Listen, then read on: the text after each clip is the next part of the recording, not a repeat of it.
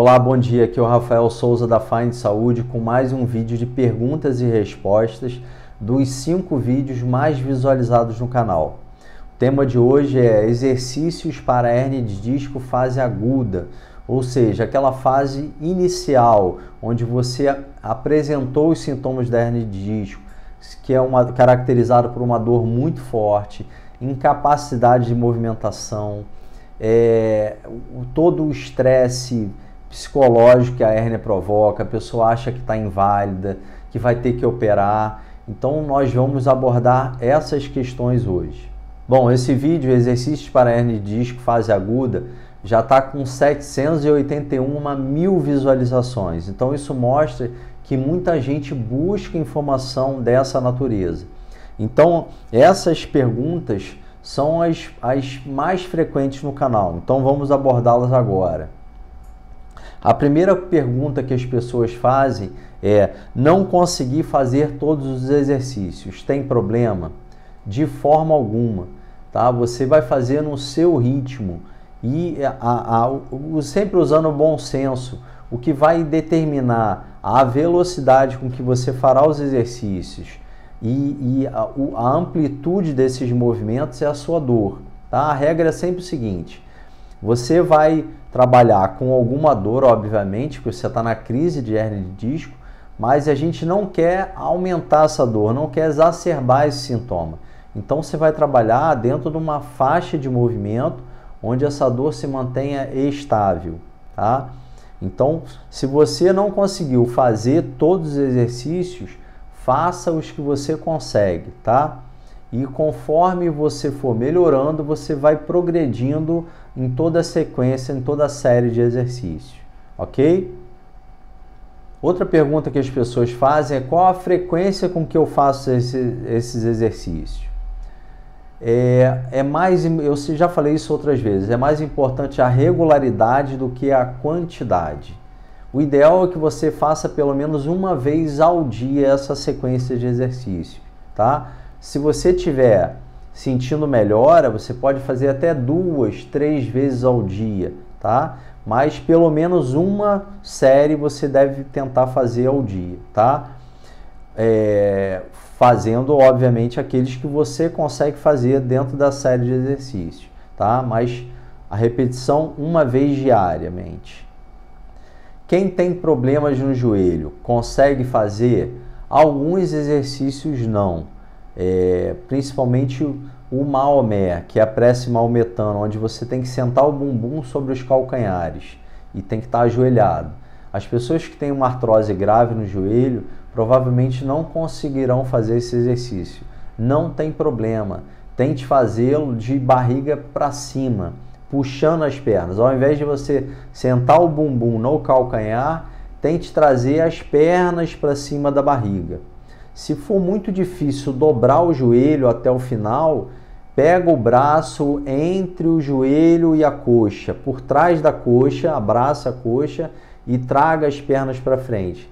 Dessa forma, o joelho não vai estar tá tão fletido, tão dobrado, e aí os sintomas da artrose vão ser menores, ok? Tem muita gente que fala, eu tenho muita dor no glúteo e essa dor irradia para a perna. Eu posso fazer esses exercícios? Sim, pode e deve fazer. Esses sintomas que vão para a região glútea e para a perna é normalmente é por acometimento do nervo ciático. A gente vai abordar perguntas e respostas específicas para esse problema do nervo ciático. Mas de qualquer forma, esses exercícios para hernia de disco fase aguda, eles descomprimem o nervo ciático ali na região da coluna lombar, na saída do nervo ciático. Então, esses exercícios são importantes para essa descompressão. Então, sim, você pode e deve realizá-los.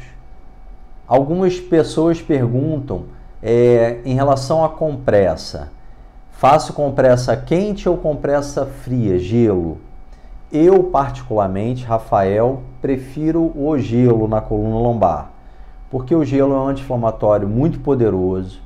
Ele ajuda na redução do edema na, na região lombar, nas facetas, na região articular, nas facetas articulares, pode gerar edema numa crise de, de hernia de disco. Então o gelo vai estar tá atuando ali e ele é um poderoso analgésico, assim como o calor. Só que eu considero que o gelo tem uma vantagem de analgesia em relação ao calor. Então, eu particularmente prefiro o gelo. Mas tem pessoas que não se adaptam ao gelo, tá? Então pode usar o calor também. Mas se for usar compressa de água quente, faça com toalha úmida. Pega uma toalha de rolho, de rosto, molha, torce, tá? Bota sobre a pele, deitado de barriga para baixo, bota a toalha nas costas, em cima da lombar e por cima da toalha o saquinho de água quente. Tanto para o gelo quanto para o calor, vai fazer uma aplicação, uma compressa de meia hora, 30 minutos, tá bom? Tem muita gente que fala, não é uma pergunta, é uma observação no canal. Muita gente fala nesse vídeo especificamente que a cor da calça atrapalha porque é muito similar à cor da maca. Esse problema já foi sanado, tá, pessoal? Isso é porque eu ainda tinha pouca experiência de filmagem, então esse vídeo é um vídeo mais antigo. É, agora o, o, já existe o contraste com o lençol ou então a cor da calça, então não se preocupem que os próximos vídeos que foram filmados, eles já, já foram sanados esse problema. Algumas pessoas também questionam em relação à dor na virilha. Eu tenho dor na virilha, dor na lombar e tenho dor na virilha. Esses exercícios ajudam? Sim, eles podem ajudar. A dor na virilha, ela pode se dar por duas situações. Primeira pode ser pela questão da, do, da hérnia de disco lombar, a musculatura paravertebral, musculatura glútea, fica muito contraturada, muito tensa. E existe um músculo é, especificamente é, que faz a rotação externa do quadril, que é o músculo piriforme, que está muito relacionado às questões do nervo ciático, que esse músculo ele entra, ele faz uma contratura muito grande. E isso pode gerar uma dor na, na região da virilha, tá? Mas o mais comum de dor na região da virilha é causada pelo acometimento do nervo femoral, que é um nervo na, na região mais alta da coluna lombar. Tá? O nervo ciático ele já fica na região mais baixa. Então, se, se fazendo esses exercícios desse vídeo, a dor na virilha ainda persistir, eu peço que vocês assistam o vídeo exercícios, exercícios para a irritação do nervo femoral, tá? Procura aqui no canal que vocês vão achar. Aqueles exercícios trabalham especificamente é, a, a irritação na região da frente da perna, causada pelo, pelo nervo femoral. A pergunta mais frequente desse vídeo: quanto tempo leva para eu ficar bom fazendo esses exercícios? Cada um tem uma biologia, cada um vai ter uma velocidade de recuperação. Mas, em média, se vocês realizarem esses exercícios ao menos uma vez ao dia, em torno de 15 dias os sintomas estão muito melhores, tá? Então, é uma média estatística.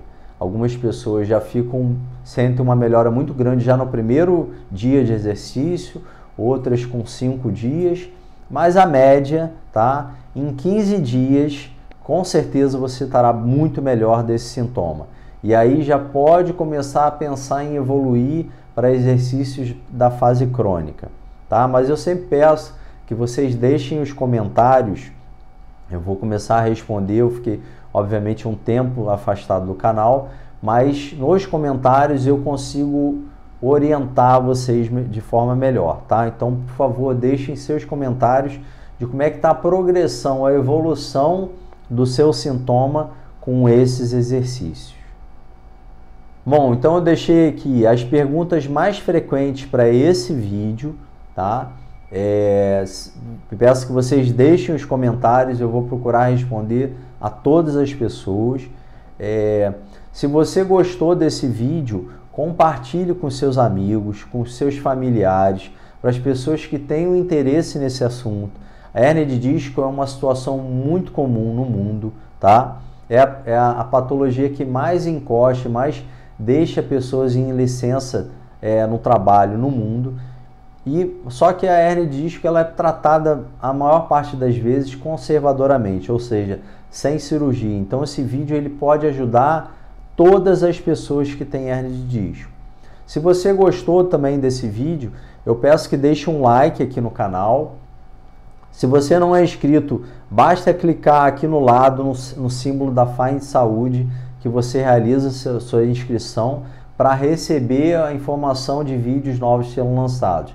Existe outra forma também de você receber essa notificação, é ativando o sininho aqui no, no, no canal do YouTube. Se você ativar esse sininho, todo vídeo lançado você vai receber informação.